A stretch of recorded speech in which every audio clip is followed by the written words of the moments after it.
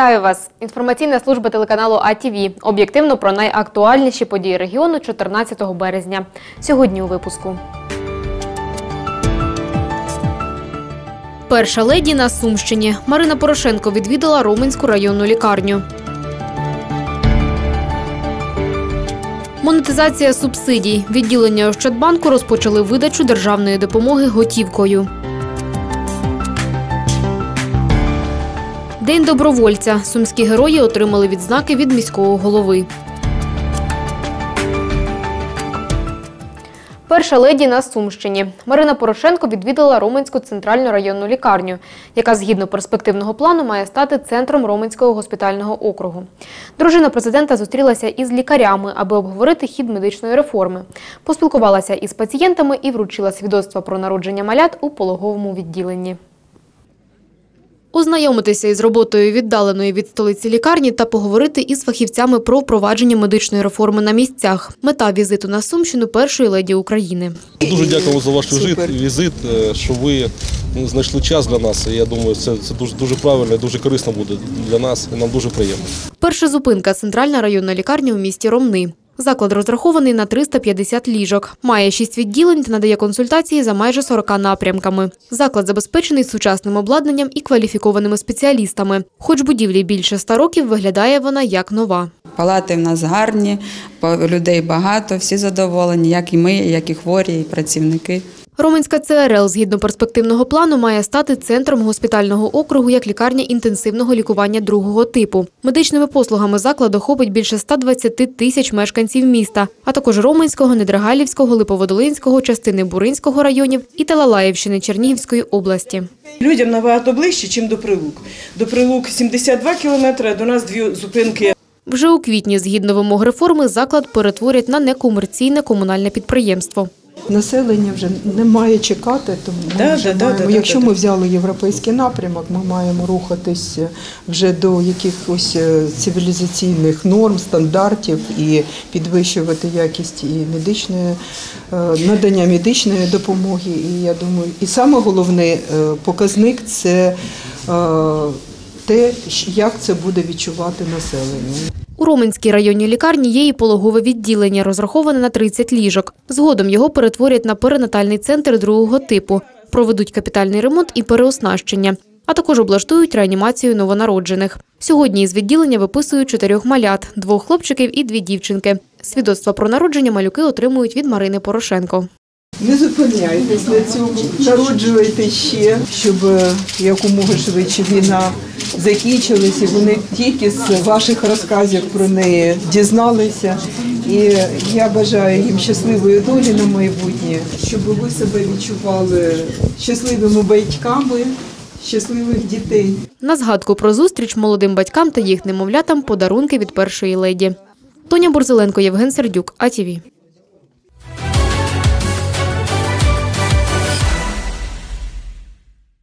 Монетизація субсидій. Відділення Ощадбанку розпочали видачу державної допомоги готівкою. Що це означає для сумчан і з якими проблемами стикнулися люди? Дивіться далі. Отримати субсидію в Ощадбанку можна двома способами – на банківську картку або через переказ «Швидка копійка». Аби готівку отримали усі субсидіанти, говорить керуючий відділенням, задіяно всіх менеджерів. Крім того, робочий день продовжили до 19-ї години і приймають сумчан у суботу. З 13 березня 2019 року розпочалася виплата субсидій субсидіантам, які були раніше зареєстровані на сайті Ощадного банку або через контактний центр Ощадного банку. Вчора, 13 березня, у нас були зареєстровано 99 чоловік. Вони приходили своєчасно, черга не нарушалася. Приймають людей і за чергою без попередньої реєстрації. В такому випадку доведеться почекати. Сумчани за грошима приходять, але доцільність і зручність монетизації ставлять під сумнів. Ну от пенсіонерка, якій вже 86 30-го року вона, до 88. Вона одна, до неї з берегині ходить, я кое що допомагаю в під'їзді. І теж я пенсіонерка мені прийшло на дом, а їй прийшло у банк. Вона в той на, на Курській ми живемо вона не може і вона не знає, куди обратитися. Я, честно сказать, не верю в то, что это будет надолго. Я думаю, что перед выборами они дали эту субсидию наличника, а потом они что захотят и будут делать. Поэтому веры никакой нет. Реєстр сумських отримувачів субсидій для Міністерства соціальної політики формує міський департамент соцзахисту. Документи робили на швидкоруч, говорять правозахисники, тому багато плутанини. Соответственно, уже нам на сегодняшний день известны факты, когда многих людей в этих реестрах попросту нету. И люди приходят в банк, отстаивают длинные очереди и в итоге уходят ни с чем. Поки проблема вирішуватиметься, можна втратити субсидію, застерігає Олександр Соколов.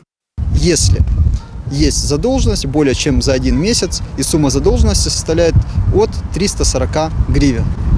Соответственно, э, в- в- если человек не заплатит вовремя за коммунальные платежи, его лишат субсидий. Ну, также есть примечание, что если же субсидия э, была вовремя не выплачена со стороны Минсоцполитики, лишить э, субсидии человека не могут.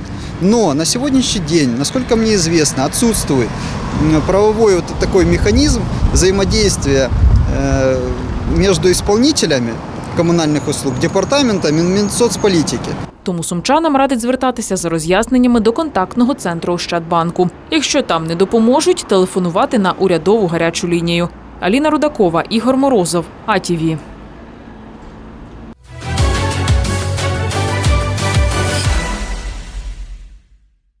Півтисячі добровольців, більшість із самооборони Майдану, п'ять років тому прибули на полігон у Нових Петрівцях на Київщині, щоб сформувати перший добровольчий батальйон для захисту України на Донбасі.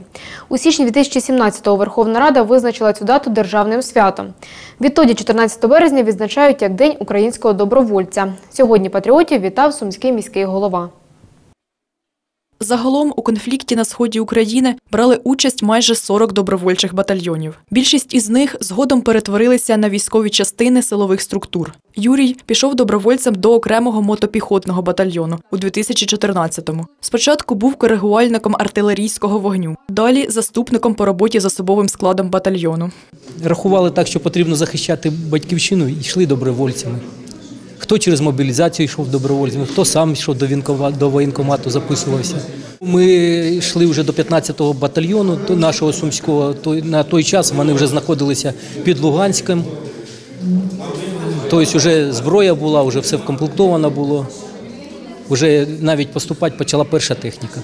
Ігор теж доброволець, командир евакуаційного відділення взводу технічного забезпечення 15-го батальйону. Сьогодні він отримує медаль Військова розвідка за вільну Україну та відзнаку сумського міського голови за заслуги перед містом. Я вам хочу сказать одно, что должен каждого мужчины защищать свою родину, территорию и все остальное. То есть получилась угроза, ну и пошел служить.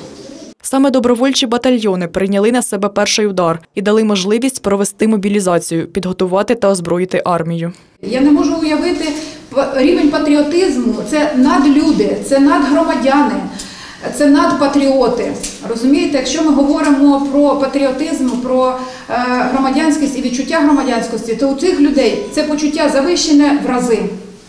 Бо е, добровільно взяти свої речі, прийти в військкомат, більше того, Сумська міська рада однією з перших в Україні прийняла рішення про забезпечення добровольців тими ж пільгами, що й учасників бойових дій, говорить Олександр Лисенко. Саме добровольці зупинили російську агресію в 2014 році. І е, сьогодні ми їм дякуємо. І не тільки сьогодні. Я кажу, що ми завжди повинні і пам'ятати, і розуміти, і робити все, щоб вони відчували, що коли, коли, вони повертаються з фронту до себе додому, що то тут е, е, піклуються про їх родини, піклуються про них, їх поважають, їх шанують. Сьогодні, як добровільні учасники бойових дій, соціальну допомогу отримують 18 сумчан. Ірина Коплик, Костянтин Гусєв, АТВ.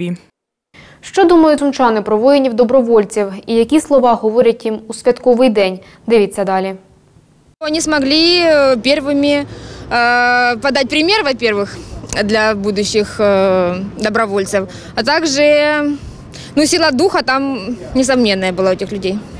Ну, якщо тоді армії фак- фактично не було, то як, якщо як же ж по-іншому. Це герої, це в принципі ті, хто завдяки кому ми зараз тут розмовляємо спокійно, без всяких от обстрілів і тому, тому подібне. Це люди, які захищають нашу країну. Ми дякуємо їм за те, що вони це роблять, за те, що оберігають наш спокій. Хто б якби не такі захищали оце нашу на границі.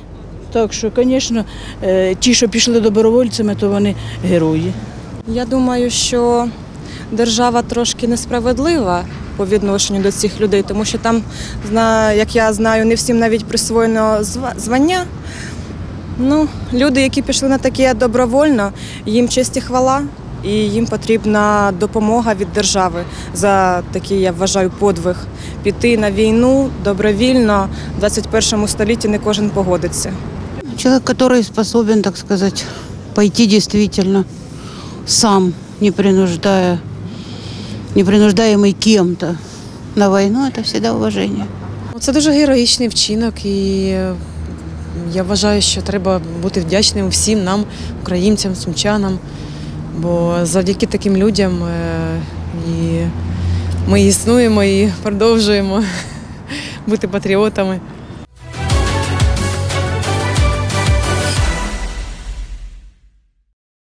Сіє, віє, крутить і мете. Так говорять у народі про березень місяць, у якого сім погод на дворі. Яку саме очікувати сумчанам найближчими днями? Чи змусить вона змінити гардероб? Та чи варто носити із собою парасольку, знають сумські метеорологи.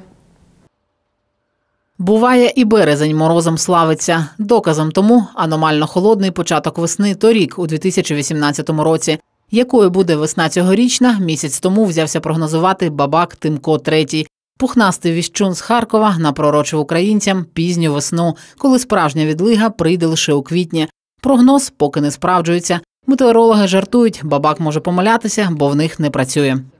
Метеорологічна весна почалась на Сумщині на тиждень раніше. Ми очікуємо на е, підвищення температурного режиму, тобто вже на вихідних, незважаючи на те, що буде дощитиме, е, можливий поривчастий вітер, е, але температури повітря будуть в день близько 10 градусів тепла.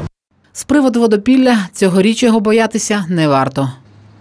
Як ви вже бачите, снігового покриву у нас немає. За тими гідрологічними прогнозами, які ми маємо, е, рівні води цьогоріч весною будуть підвищуватись десь в середньому на е, 50-150 сантиметрів. Тобто це навіть менше, ніж е, минулого року і е, нижче, ніж е, середні багаторічні показники. Березень місяць, коли триває боротьба між зимою та весною. Відтак частими подарунками небесної канцелярії бувають не лише дощі, а й снігопади. Так було торік і в 2013 році, коли 23 березня випало до 50 сантиметрів снігу. Нинішня весна поки радує сонечком і теплом. Анна Світлична, Євген Сердюк, АТВ. А на цю годину у мене все. Новини ви завжди можете знайти на сайті каналу www.atv.sumy.ua. Далі для вас корисна та цікава інформація. Залишайтеся із АТВ.